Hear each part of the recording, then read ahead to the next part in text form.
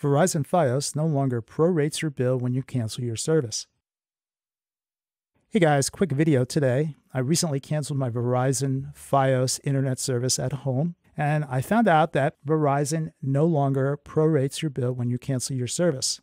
What I did was I canceled my account 10 days into the month, and when I got my final bill at the end of the month, they had charged me for the entire month. Now, I thought this was strange because I know I've canceled Verizon services before, and they've always prorated the bill. So, what I mean by prorated the bill is that if you use 10 days, you pay for 10 days, and then you're not charged for the remaining 20 or 21 days in your billing cycle if you don't use the service.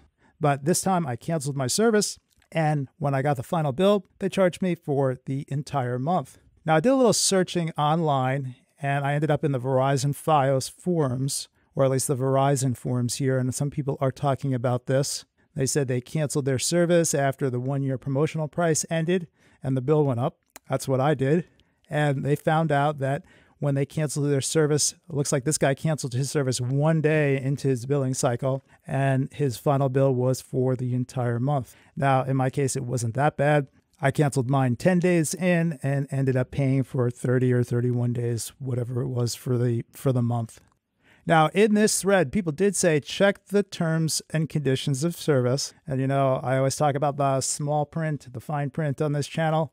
I went and looked, and in the terms and conditions of service, under item 10, termination or suspension of service, it says, unless otherwise required by applicable law, termination will be effective on the last day of that month's billing cycle, and you are responsible for all charges incurred through that date. All right, what does this mean? If you're a Verizon Fios subscriber, or really a subscriber to any home internet service or cable service, you might want to check the terms of service before you decide to cancel your service and switch to a new one and see whether or not you're going to pay for the entire month if you cancel during the monthly billing cycle. Wish I had done that. I didn't. I didn't realize it.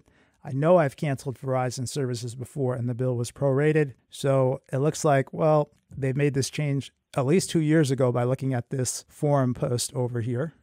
So that's pretty much it. If you're thinking of switching your service from Verizon Fios, and you're planning to switch to something else, just make sure you line it up with the end of your billing cycle so that you don't pay for a service that you didn't use. Now, I have nothing against Verizon Fios. I think it's great. In fact, I signed up again. Actually, my wife signed up for it. And last year we were using the Fios 100 100 internet plan for $40 a month. I actually think that's a pretty good deal. Fios generally seems to be better than the competition where I live, which is Xfinity, Comcast. So I'm happy to continue using Fios. But what happened was the $40 bill went up to $55 a month. Now the bill was probably more than $40 when this, once the taxes and fees were added in, but the bill went up like 10 bucks a month. And that's a pretty big increase. If you go from 40 to $50 a month, that's an extra 120 bucks a year.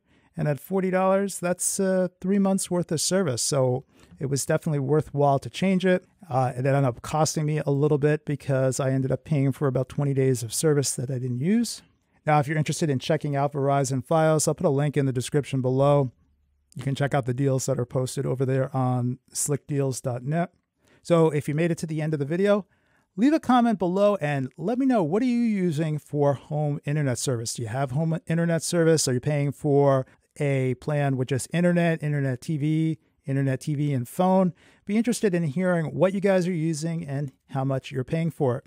All right, guys, that's going to be it for this video, and I will talk to you next time.